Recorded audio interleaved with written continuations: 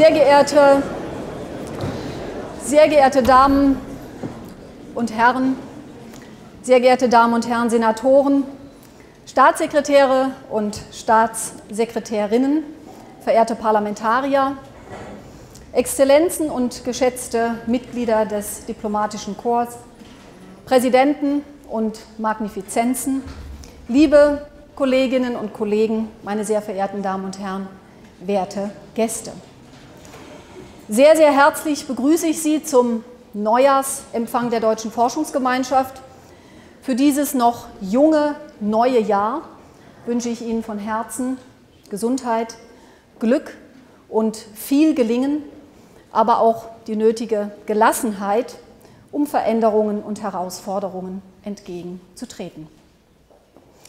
Es freut mich außerordentlich, dass Sie den Weg in diesen prächtigen Saal hier in der BBAW am Gendarmenmarkt gefunden haben und ich hoffe, dass Sie die zurückliegenden Feiertage angenehm verbringen konnten, dass die Zeit zwischen den Jahren ein wenig Erholung brachte, etwas Abstand vom Alltag und vielleicht sogar etwas Besinnung auf das, was in unserer schnelllebigen Zeit allzu leicht vergessen wird.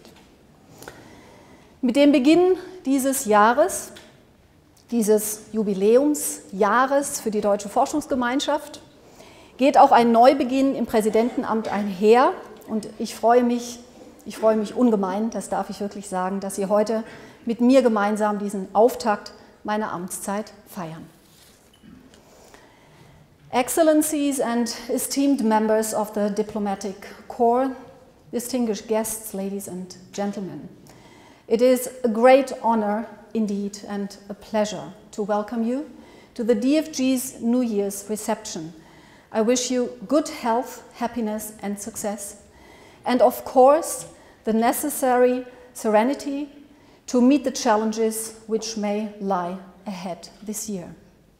I'm delighted that you are able to join us at this marvelous venue at the Gendarmenmarkt I hope that you enjoyed the festive season, that you were able to relax and unwind in the run up to the new year and take a break from everyday responsibilities and perhaps also contemplate the things we so easily forget amid the hectic pace of modern life. The beginning of this new year, an anniversary year for the DFG, also marks a new beginning in the role of president. And I am thrilled, I may say so, that you have come to celebrate with me today the start of my term in office. Das Amt der DFG-Präsidentin übernehmen zu dürfen, ist eine unbeschreibliche Freude für mich. Es ist aber eine noch größere Ehre, eine solch wundervolle Organisation aus der Perspektive des Vorstands begleiten zu dürfen. Und ich möchte mich bei Ihnen allen, die direkt oder indirekt an der Wahl im letzten Jahr beteiligt waren, für Ihr Vertrauen und Ihre vielfältige Unterstützung bedanken. Wie Sie wissen, ja, komme ich ja im Prinzip direkt aus der Forschung. Zu Ihnen bis vor zwei Wochen habe ich ein DFG-Schwerpunktprogramm und ein Löwe-Zentrum koordiniert und eine sehr aktive Arbeitsgruppe geleitet. Viele unter Ihnen kennen mich aber auch aus meiner sechsjährigen Zeit als Vizepräsidentin der DFG und einige von Ihnen dürfte ich bereits während meiner Tätigkeit als Vizepräsidentin für Forschung an der Justus-Liebig-Universität Gießen kennenlernen.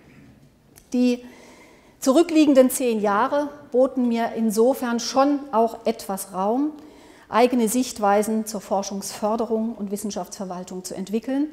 Leitend waren für mich dabei immer die Dynamiken der Forschung selbst und die Frage, welche Rahmenbedingungen es braucht, damit beste Forschung möglich ist. Und wenn man die Welt aus Perspektive der Forschung betrachtet, dann gehört der Blick auf die DFG in der Tat zu dem Wunderbarsten, was man sehen kann. Genau dies habe ich als Wissenschaftlerin immer so empfunden.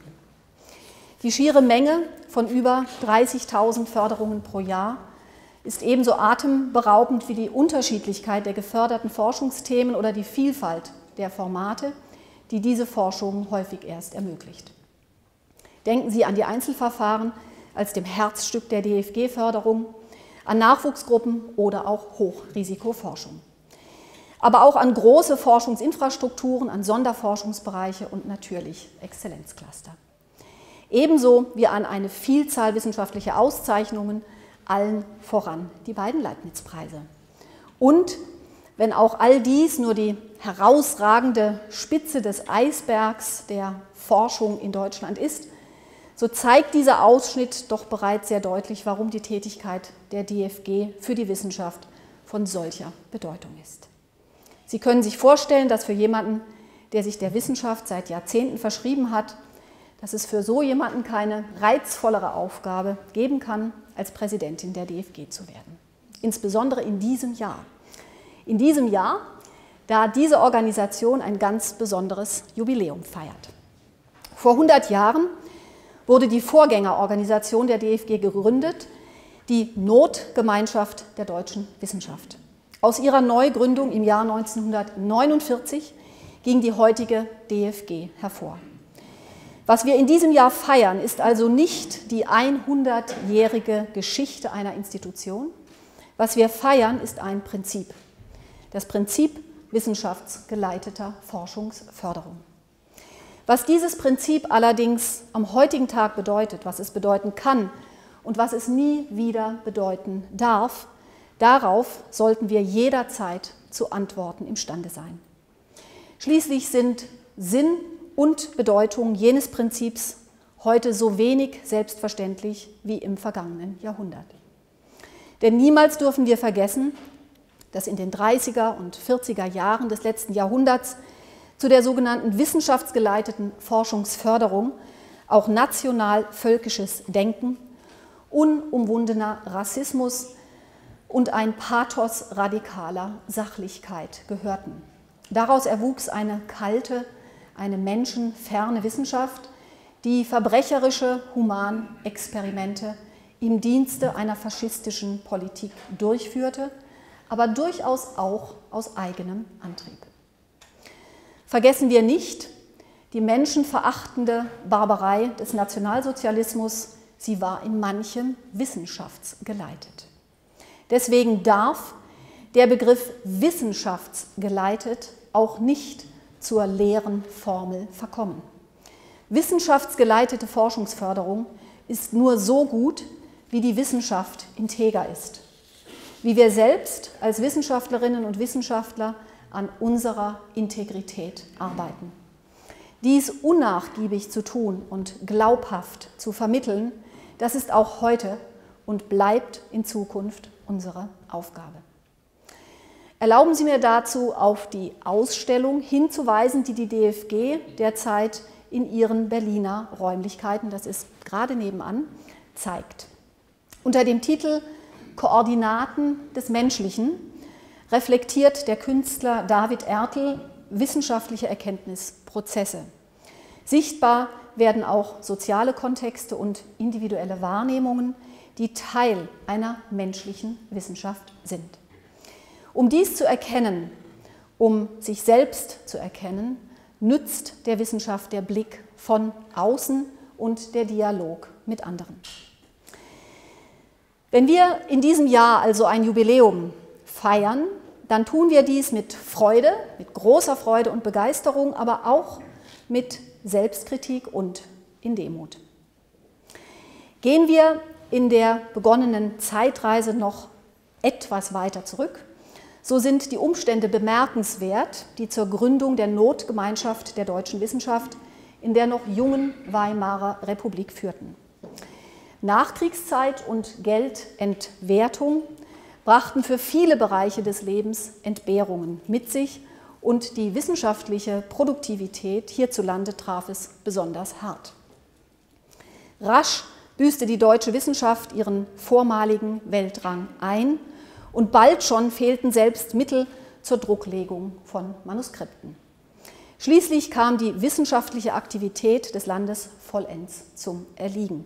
Labore wurden geschlossen, renommierte Zeitschriftenreihen eingestellt. Um dieser offenkundigen Not der Wissenschaft abzuhelfen, gründeten Großindustrielle, Bankdirektoren und Kaufleute den Stifterverband der Notgemeinschaft der deutschen Wissenschaft.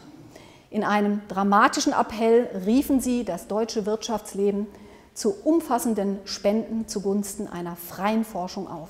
Unterstützt wurde dies übrigens auch aus dem Ausland. Der Gründung der Notgemeinschaft der deutschen Wissenschaft gingen außerdem intensive und überaus konstruktive Abstimmungen der Wissenschaftsorganisationen voraus. Eine bewährte Eigenschaft des hiesigen Wissenschaftssystems, deren Wurzeln also weit zurückreichen. Heute feiern Stifterverband, lieber Herr Barner, heute feiern Stifterverband und DFG gemeinsam das Jubiläum ihrer Gründung. Und es darf gefeiert werden.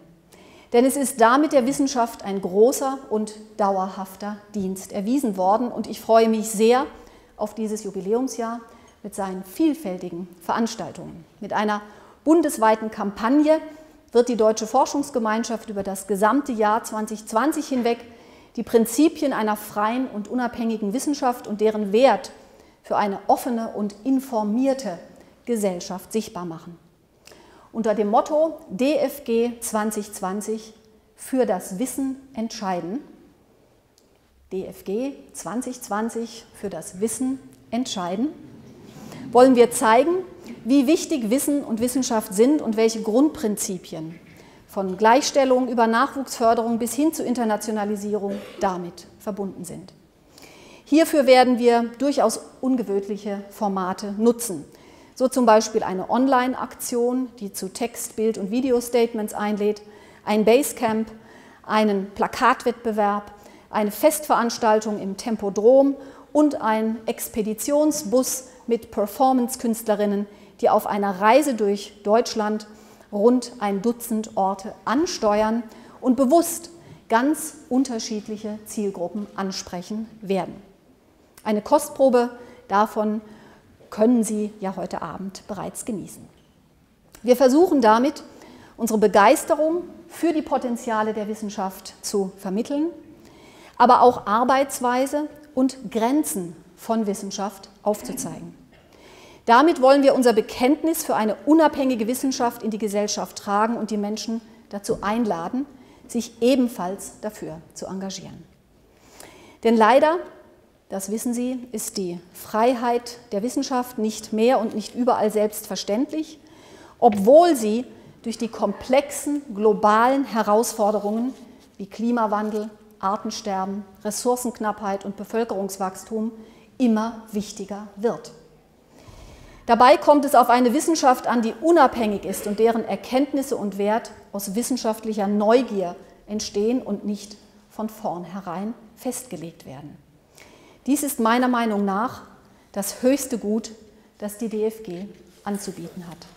Und dafür möchte ich mich auch weiterhin engagieren. Natürlich müssen zahlreiche Forschungsprioritäten entlang thematischer Schwerpunkte ausgerichtet sein um aktuellen Herausforderungen begegnen zu können. Aber nur die Freiheit des Denkens, die Freiheit aus genuinem Interesse neue Fragen und Konzepte entwickeln zu können und die Diversität, die Diversität auf allen Ebenen, auf Ebene unserer Wissenschaftlerinnen und Wissenschaftler, auf Ebene der Förderformate, der Methoden, der Themen sowie der nationalen und internationalen Kooperationen. Nur dies ermöglicht wirklich neue Kombinationen, Ideen und echte Innovationen. Die Nützlichkeit dieser Forschungsprozesse entfaltet sich häufig erst nach Jahren, manchmal erst nach Jahrzehnten und mitunter in Bereichen, die von der Ausgangsfrage weit entfernt liegen. Ihre wissenschaftliche ebenso wie ihre ökonomische, soziale, politische oder kulturelle Wirkung kann dennoch gewaltig sein. Förderwürdigkeit darf also nicht auf einen zu engen Nützlichkeitsbegriff reduziert werden und schon gar nicht darf sie politischen Zwecken oder Machtbestreben untergeordnet werden, so wie wir dies aktuell wieder und immer noch in einigen Ländern beobachten. Etwa wenn Universitäten von politisch Andersdenkenden gesäubert oder sogar geschlossen werden oder wenn Geschichtsforschung darauf reduziert wird, in eine nationalistische Gesamtsicht einzustimmen. Oder wenn effektive Forschung zu brennenden Themen, wie beispielsweise zum Klimawandel, schlichtweg verhindert wird.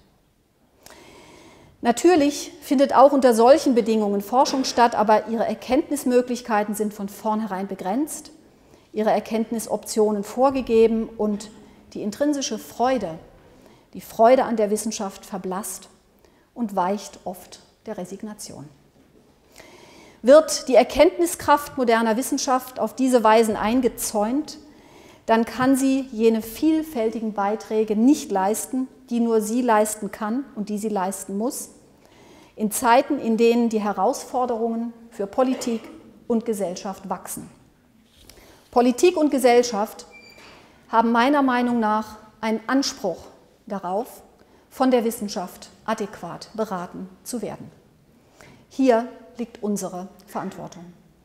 Daher freue ich mich, dass wir uns in diesem Jubiläumsjahr besonders daran erinnern können, was unser Wissenschaftssystem auszeichnet. Hervorragende Wissenschaftlerinnen und Wissenschaftler, sehr gute Infrastrukturen, effektive nationale und internationale Netzwerke, eine sinnvolle Arbeitsteilung unter den Wissenschaftsorganisationen und ihre hervorragende Zusammenarbeit in der Allianz sowie mit Bund und Ländern. Dank der im letzten Jahr verhandelten Pakte haben wir nicht nur die so dringend benötigte Planungssicherheit, sondern durch die Förderung neuer Projekte wie dem nationalen Hochleistungsrechnen und der nationalen Forschungsdateninfrastruktur haben wir noch mehr Möglichkeiten zu synergistischer Vernetzung und Kooperation als jemals zuvor. Und wir sollten sie nutzen. Wir sollten sie nutzen, um den gegenwärtigen globalen Warnzeichen begegnen zu können, um irreversiblen Zerstörungen unseres Lebensraumes und damit unserer Lebensgrundlage entgegenzutreten, um soziale Ungerechtigkeiten und gewaltsame Auseinandersetzungen auf der Welt einzuhegen. Nun werden Sie sagen, die DFG kann die Probleme der Welt auch nicht lösen. Und ich stimme Ihnen natürlich zu.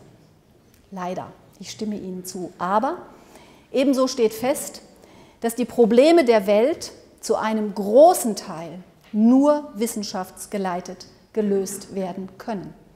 Und dazu braucht es eben nicht nur handlungsfähige, sondern in höchstem Maße handlungstüchtige Wissenschaftsorganisationen, die effekt, effektiv kommunizieren und wirksam zusammenhandeln. Die Wissenschaften haben heute mehr denn je eine gesamtgesellschaftliche Verantwortung. Und die richtigen Entscheidungen können nur mit ihrer Hilfe getroffen werden. Damit dies aber gemeinsame Entscheidungen von Politik, Gesellschaft und Wissenschaft sein können, müssen wir die Menschen unseres Landes davon überzeugen, wie wichtig Wissenschaft ist. Gerade diejenigen Menschen, die aktuell in nichts mehr vertrauen, die sich zurückgelassen fühlen, diese Menschen muss die Wissenschaft von sich überzeugen. Erinnern wir uns an Bertolt Brecht, der seinen Galilei sagen lässt, denn ich halte dafür, dass das einzige Ziel der Wissenschaft darin besteht, die Mühseligkeiten der menschlichen Existenz zu erleichtern. Dieser Satz hat heute eine fast schon erschütternde Aktualität. Denn wir sind dabei zu verstehen, dass zu dieser menschlichen Existenz Wasser, Luft und Boden, Tiere und Pflanzen und ein soziales Miteinander gehören und dass wir unsere Existenz vermutlich nur durch ein wirkliches Miteinander auf allen Ebenen werden erhalten können. Wir werden in den kommenden Jahren lernen, was es wirklich bedeutet zu teilen. In diesem Sinne möchte ich mich mit Ihnen allen engagieren für eine integre und menschendienliche Wissenschaft, die ihre Aufgaben selbst und unser aller Zukunft in gedeihlicher Weise mitbestimmt. Wir können dies nur gemeinsam und gemeinsam müssen wir uns darüber verständigen, welche Handlungsoptionen wir haben und welche Schritte die wichtigsten und die jeweils nächsten sind. Nur so kann auch die DFG für ihre Mitglieder und für die Forschung das sein, was wir in diesem Jahr feiern wollen. wissenschaftsgeleitete Forschungsförderung. Und das kann nichts anderes heißen als Forschungsförderung unter Leitung der Wissenschaften im Dienste der Gesellschaft. Deswegen lade ich Sie ein, lassen Sie uns das neue Jahr miteinander beginnen, zuversichtlich und engagiert, aber auch heiter, beschwingt und offen für Inspirationen voneinander. Vielen Dank.